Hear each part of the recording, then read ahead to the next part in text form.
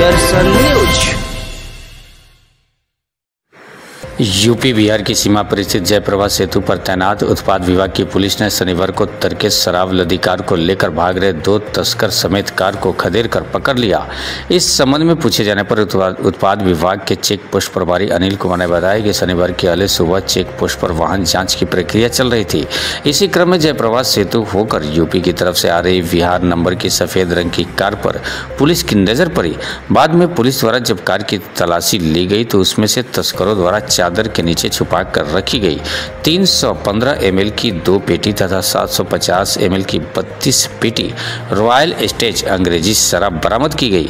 बरामद शराब की कीमत लगभग पचास हज़ार रुपये बताई जा रही है। पुलिस ने शराब लदी कार को जब्त करने के साथ साथ उसमें सवार दोनों तस्करों को गिरफ़्तार कर लिया है। गिरफ़्तार तस्करों से पूछताछ करने के बाद मद्य निषेध उत्पाद अधिनियम के तहत उन्हें न्यायिक हिरासत में छपरा जेल भेज दिया गया।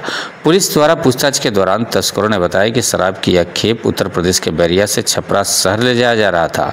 गिरफ़्तार दोनों तस्कर बिहार के मोतिहारी ज़िले के रहने वाले बताए जाते हैं। पुलिस की इस कार्रवाई से शराब तस्करों में हरकम व्याप्त है। सारण से वीरे सिंह की रिपोर्ट। चला